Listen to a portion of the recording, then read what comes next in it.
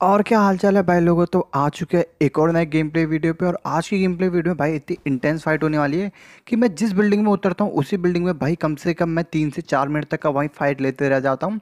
और यहाँ पे लिटरली जितनी भी स्क्वाड है आती है और उन सबको पता नहीं क्या ही खुजली होती है कि बंदे भाई वो आपस में लड़के छोड़ के, वो सब भाई मेरे ऊपर रस करते हैं बैक टू बैक तो देखना एक बंदा इसी बिल्डिंग के छत पे है। जो मेरी तरह स्लो भी स्कॉट खेल रहा था, उसके बाद पीपीथी से काफ़ी इजीली लॉबी पहुँचा दिया। अब बाई सिलसिला यहाँ से स्टार्ट होता है बैक टू बैक बंदों का रस का।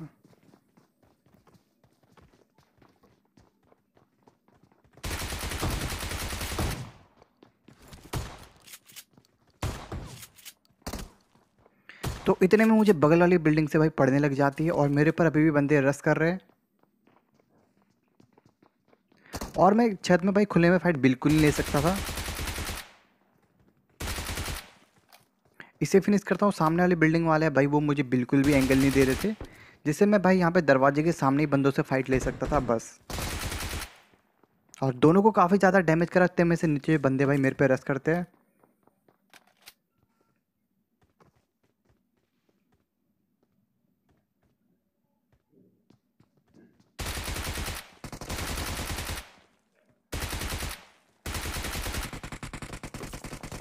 तो यहाँ पे बंदों को पता नहीं क्या और था बैक टू बैक भाई रेस्ट कर रहे थे, यहाँ पे पता नहीं कितनी स्कॉडें आई थी। तो यहाँ पे मैं ड्रिंक मारता हूँ ड्रिंक मार के हल्का सा वेट करता हूँ तो इतने में भाई दो तीन बंदे और मेरे ऊपर पुश कर देते।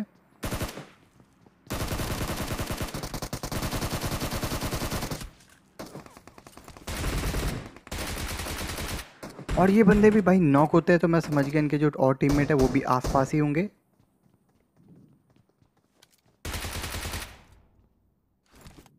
तो यहाँ पे एक बॉट को मैं काफ़ी इजीली फिनिश कर देता हूँ और अभी भी जिस स्कॉट को भाई मैंने ऊपर नॉक करा था बिल्डिंग के ऊपर, उसका एक बंदा अभी भी बच रहा था। तो भाई मैं यहाँ पे आराम से जाता हूँ। छत की तरफ़, और इतने में जैसे भाई छत की तरफ़ जाता हूँ तो मुझे साइड से एक बंदों का साउंड आता है और वो बंदा भाई मेरे पे फायर कर देता है और मुझे समझ जाता है कि बंदा भाई साइड पे है। तो मैं यहाँ से निकलता हूँ और पूरा फ्लैंक मारते हुए जाता हूँ।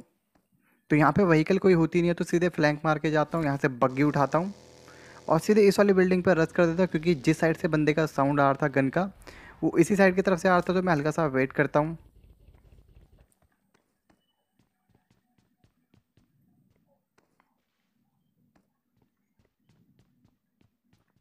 जैसे ऊपर की तरफ़ से जाता हूँ, मुझे सामने वाले बाना उससे भाई साउंड आता है बंदे का। तो इस स्कॉट का जो लास्ट बंदा था भाई, वो भी हत्ते चढ़ जाता है, इसे काफ़ी इजीली वाइप कर देता हूँ। और भाई यहाँ पे मिल्टा में देख सकते इतनी तगड़ी फाइट और एक ही बिल्डिंग के अंदर मैंने कम से कम भाई आठ बंदे मारे। आठ तो नहीं, सात बंदे मारे तो भाई बंदे बैक टू बैक रस चल रहा था। तो इस जो बंदा होता भाई, इससे मैं भाई एम उठा लेता हूँ। और फिर निकलता है यहाँ से।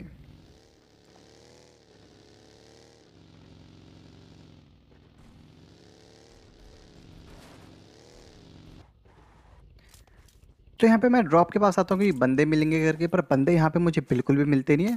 पर एक बात अच्छी ये होती है कि मुझे ड्रॉप से भाई एम टू फोर नाइन मिल जाती है। और भाई सोलो भी स्कॉड में M two four M two four nine अगर आपको मिलती है तो ज़रूर उठाया करो। और जैसे मुझे यहाँ पे बॉट का साउंड आता, उतने में भाई एक स्पॉट पूरी सामने से जाती है। और मेरे पास एंगल इतना बढ़िया नहीं था कि इन बंदों को मार सकता था। पर हल्का सा थोड़ा बहुत डैमेज देता हूँ और वो गाड़ी भाई कवर में चले जाती है। तो मैं डायरेक्ट फ्लैंक मारते हुए आता हूँ क्योंकि ये बंदे भाई कैंप कर रहे थे और सिंगल सिंगल करके बिल्कुल नहीं आ रहे थे मेरे पास।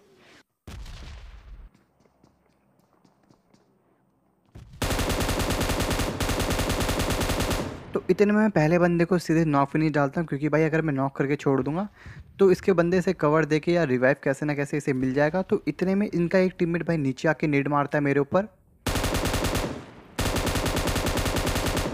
जिसे काफ़ी ज़्यादा लेट कर देता हूँ। और इसे काफ़ी इजीली नॉक डाल देता हूँ यहाँ पे। तो इसका टीममेट भाई जल्दी से इसे बचाने के लिए मेरे पे रस करता है।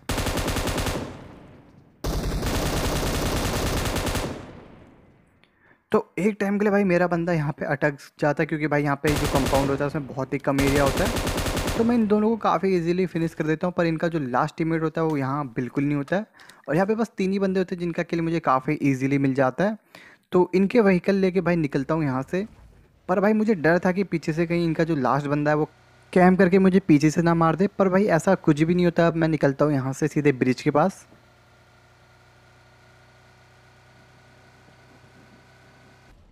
और किस्मत, हर बार इतनी ख़राब होती है कि भाई जब भी मैं ब्रिज में जाता हूँ तो जो बंदे कैम करते हैं, मुझे भाई दोनों साइड से बंदों की पड़ती है, क्योंकि जो ज़्यादातर गेम प्ले जितने भी मैं बनाता हूँ उनमें बंदे भाई आगे भी कैंपर देखने को मिलते हैं और पीछे से जब मैं गाड़ी लेके जाता हूँ तो मेरे पीछे भी भाई गाड़ी देखने को मिलती है।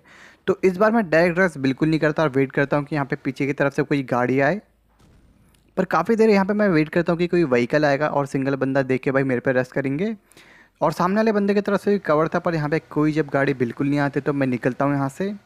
और मुझे लगा कि भाई यहाँ पे ब्रिज कैंप कैसे नहीं हुआ। और थोड़ी देर बाद ही मुझे पता चलता है कि यहाँ पे ब्रिज कैंप क्यों नहीं होता और आपको भी पता चलेगा। तो उससे पहले यहाँ पे भाई एक UAZ खड़ी होती है, पर उसका बंदा मुझे यहाँ पे बिल्कुल भी स्पॉट नहीं होता है। तो याली पहाड़ी छोड़ के भाई सामने वाली ब्रिज के सामने वाली पहाड़ी पर चलते हैं। और इतने में जैसे मैं भाई यहाँ से निकलता हूँ, भाई मुझे ब्रिज के सामने से एक गाड़ी दिखती है।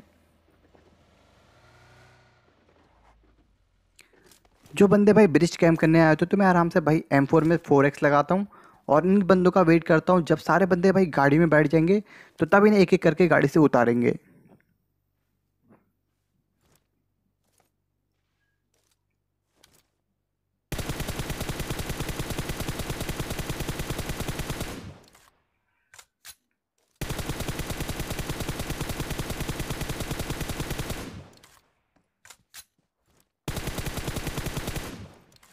तो यहाँ पे मैंने तीन नॉक निकाल दिए, उसके बाद भी भाई यहाँ पे इनका एक लास्ट बंदा बच रहा था।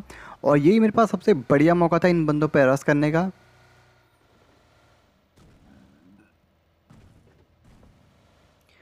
तो जैसे मैं यहाँ पे आता हूँ, उनका लास्ट बंदा भी मुझे स्पॉट हो जाता है। जैसे काफ़ी इजीली मार के भाई यहाँ पर लियाली स्कॉट काफ़ी इजीली फिनिश हो जाती है। और इसके बाद लिटरली आपको पाँच बंदे दिख रहे होंगे।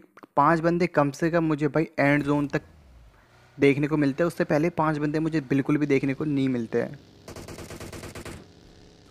तो जैसे मैं यहाँ पे आता हूँ, यहाँ पे मुझे भाई बंदे का साउंड आता है ऊपर की तरफ़ से, पर वो मुझे बहुत ज़्यादा डैमेज दे देता है। तो यहाँ पे मैं कवर पे आता हूँ और वेट करता हूँ। जैसे यहाँ पे मैं ड्रिक मारता हूँ भाई साइड से नीचे की तरफ़ से भाई स्नैपर चलती है। और अगला जैसे स्नैपर शॉट आता है, यहाँ पे जो बंदा होता है, जो मुझे डीपी से मार रहा था, वो फिनिश हो जाता है। और मैं उन बंदों पर डायरेक्ट रस करने जाता हूँ, पर वो भाई काफ़ी ज़्यादा तगड़ा स्प्रे मारते हैं यहाँ पे। तो मैंने सोचा, भाई जोन चलते हैं और हाइट लेते हैं, तब जाके इन बंदों को भाई पेलेंगे एक एक करके। तो भाई, यहाँ पे रिच तो काफ़ी बढ़िया था, पर ये रिच इतना भी बढ़िया नहीं था कि बंदे स्पॉट हो जाए। और रिच एकदम भाई खड़ी चढ़ाई थी, जिससे भाई रिच के नीचे के जो स्पॉटेड एरिया होता है, वो बिल्कुल भी देखने को नहीं मिल रहा होता है। पर यहाँ पे भाई थोड़ी देर में एक मुझे बंदा स्पॉट होता है। जिसे नॉक कर देता हूँ, जो इसका पीछा वाला पेड़ है, पिछला पेड़, उसके सामने ही इसका टीममेट होता है, इसे भाई बचाने के लिए पूरी कोशिश करता है। और यहाँ पे मैं एक नेट मार के इस बंदे को फिनिश करने की कोशिश करता हूँ, पर भाई नेट की टाइमिंग थोड़ी सी बेकार होती है। और वो नेट से बच जाता है, उसका जो लास्ट वाला टीममेट होता है, इसे मैं काफ़ी ज़्यादा डैमेज देता हूँ एम से।